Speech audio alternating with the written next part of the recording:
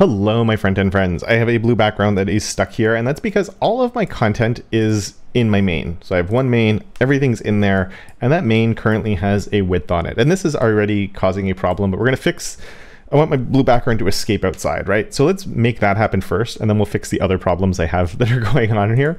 Uh, so for that, what I'm gonna do is I'm gonna delete this main selector, and I'm gonna change it into a class selector of wrapper. And now everything isn't being held anymore because I changed that. And I'm not going to put that wrapper on the main. I'm going to come here instead. I'm going to do a div class is equal to wrapper like this. And what I would encourage you to do if ever you have these types of uh, things where you can't really see what you're creating, which, which is very common to happen, and in early days, when you, it can be hard to visualize what's actually happening. So let's come in here and add a border of five pixels. I'm going to do dotted red so we can see exactly where it is. And I've opened it here. I haven't closed it anywhere, but it's still going to put it in the page for me. And it's just gonna, the browser's like, oh, it never ends. So we'll just end it at the bottom. Uh, and we have, we're back to where we were before, where we're stuck with the blue background there, right?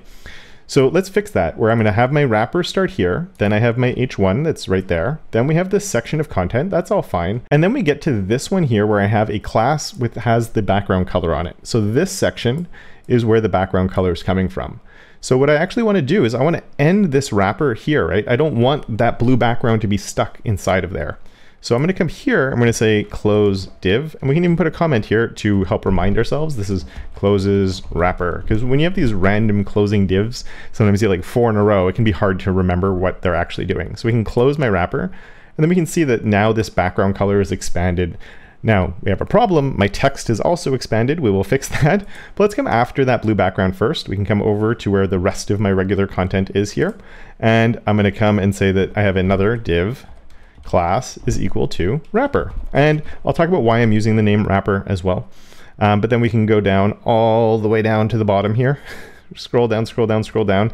Even though the browser is going to close it for me, I would say it's always a good idea to actually close div uh, to close the wrappers you have. And once again, we can put a comment here because this is so far away from the opening one. We can say uh, closes wrapper, just like that.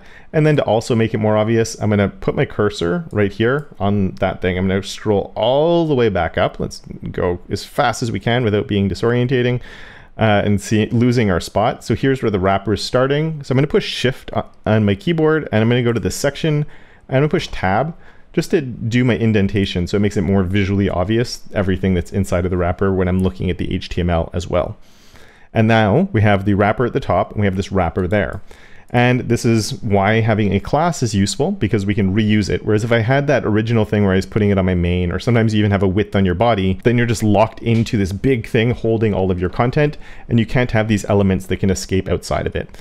There's ways of doing it that are kind of hacky, but if we don't need to bother, you know, if we can avoid hacks, we should avoid hacks. Uh, but of course, now we need to fix this area right here as well. And to do that, I'm going to come here where we have this background color. Let's add a bit of extra space there so we can focus just on that. And now this has the background color on it, so I want to allow that to stay full width. I just don't want the content inside of it to go full width. Well, that just means I can come right here and I can do my div class is equal to wrapper right there. Of course, the closing triangle bracket goes there. Then I have my H2, I have my paragraph, and then I would come down here and I can close div. And once again, let's put a comment there, close wrapper just like that. And then we can come select all of this, hit tab to fix our indentation all along there. And now we can see I have a wrapper here that's closing. I have this other wrapper inside of the blue background. And then I have this other one that's going on over here. Now let's go and turn off this red thing because there is a problem still, but let's make it look like what it would look like now that we understand how it's working.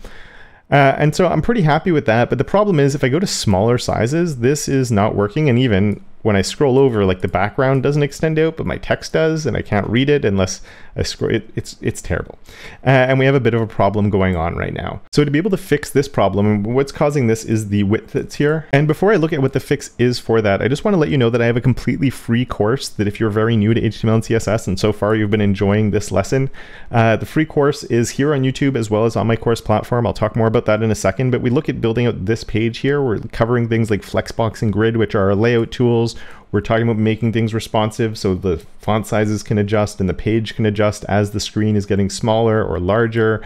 We build out multiple pages. We talk about images, changing colors, all the things you need to know, links, everything like that that you need to know when you're first getting started with HTML and CSS. So the name of the course is HTML and CSS for absolute beginners. And if here it is on my course platform that has the advantage of, first of all, it's ad free versus YouTube, but where you can also keep track more of the lessons you've been going through. And at the same time, there's a text less that goes along with the lessons as well with the video content that is still here in the platform.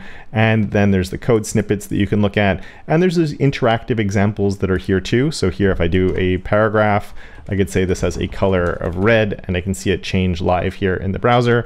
And it goes from the absolute basics, assuming you've never touched HTML and CSS before, to building out that website we were just looking at. So if you're interested in that, both the playlist here on YouTube and the link to this version of the course are both down in the description just below. And with that, let's look at fixing this uh, the, the issue we had here with our overflows. So to be able to do that, what we want to do is just here I have a width. Instead of saying a width, let's delete all of this actually. we're going to modernize this a little bit. Instead of a width, uh, we could do a max width, but I'm actually going to say not even to do a max width, but to do a max inline size instead. And I'm going to do 720 pixels. And then instead of the margin left and the margin right, what I would recommend is a margin inline. And I'm going to do auto here. And it looks the same as before, and I'm going to explain what these are in just a second.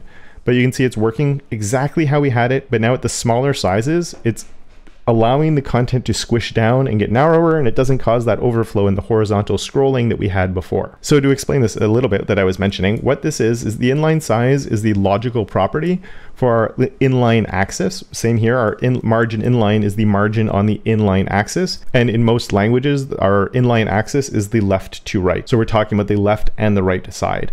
And the reason it's a logical property is if ever you had something that was a vertical writing mode that you get in some Asian languages, for example, then the inline axis would actually switch because the writing is vertical, so the inline axis is the other way.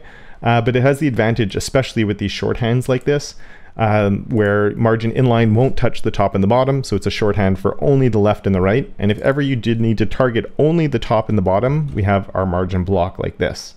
And if you'd like to know more about logical properties, I'll put a link in the description down below on a video that just talks about logical properties and how they work and what they're good for uh, and why we want to be using them basically for everything we do.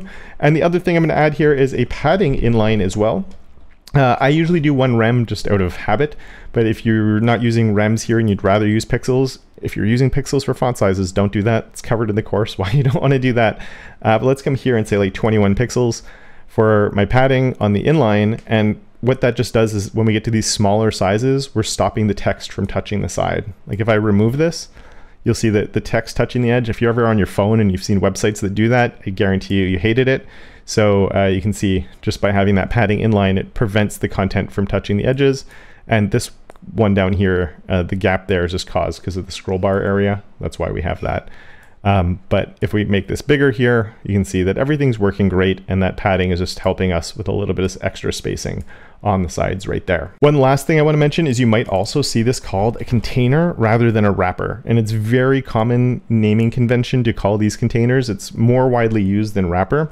I used to call them containers. So if you watch some of my older content, you will also see me do that. So I wanted to bring it up just because it's something you will see in the wild. The reason I'm using wrapper is first of all, it is another name that is commonly used for this type of thing.